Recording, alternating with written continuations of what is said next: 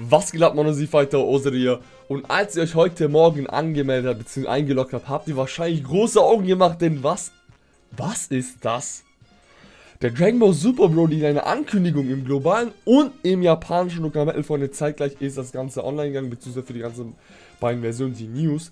Aber ich werde euch natürlich jetzt direkt sagen, was es sich dabei handelt, um was es sich dabei handelt, denn man sollte nicht in allzu viel Hype geraten, denn es ist zum allerersten Mal quasi einmal erstmal nur eine Ankündigung für den Film, also es ist quasi eine Filmankündigung, dass ein Film kommen wird und dazu gibt es eine Celebration im globalen und im japanischen Kamel zeitgleich. Movie Announcement Celebration.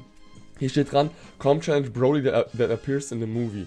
Alles klar, Dragon Ball Super Movie Announcement, also Filmankündigung, es ist wirklich nur die Feier zur Filmankündigung, die erst am Ende des Jahres im Januar im Westen ähm, in den Kinos erscheint, wie ich mal sagen. Und zwar steht hier ganz wichtig dran, was heißt das global Dokument? Es ist quasi das Geile ist, dass, also es ist, ja, es ist ja was Großes, dieser Film ist ja wirklich was Großes mit dem neuen Broly. Und ich finde es cool, dass jetzt auch in Dokkan ähm, quasi eine Ankündigung gibt, beziehungsweise sich da schon vorbereitet wird.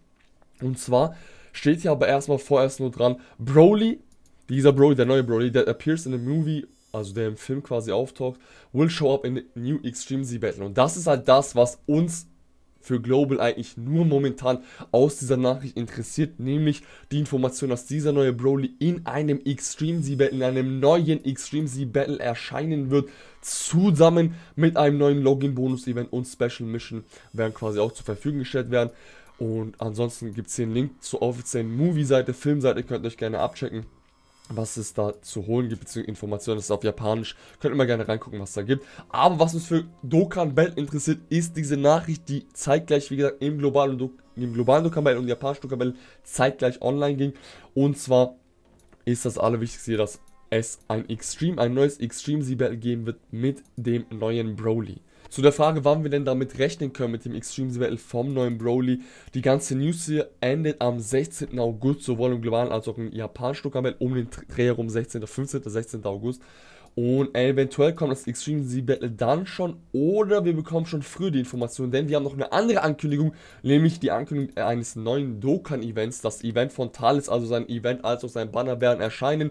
Diese Nachricht endet am 13. August um 11 Uhr morgens unserer Zeit. Vielleicht eine komische Zeit, die Zeit selbst könnte sich ändern, aber am 13. August sollte das Ganze online kommen. Denn warum? Denn die ganze Celebration, das 3-Jahres-Jubiläum, endet am 13. August um 2 Uhr bzw. 1.59 Uhr nachts oder morgens. Und dann am 13., also Montag ab 2 Uhr, sollten neue Informationen zur neuen Celebration reinkommen. Auf jeden Fall werden wir dann wissen, mehr zum Thales, wann er genau vielleicht kommt, sein Banner, beziehungsweise was uns in dieser Celebration erwartet. Heißt, spätestens am Montag wissen wir mehr rund um Thales. Also Thales ist eigentlich schon ganz sicher, dass er kommt, aber rund um welche Events um ihn herumlaufen werden oder was quasi viel interessanter sein wird.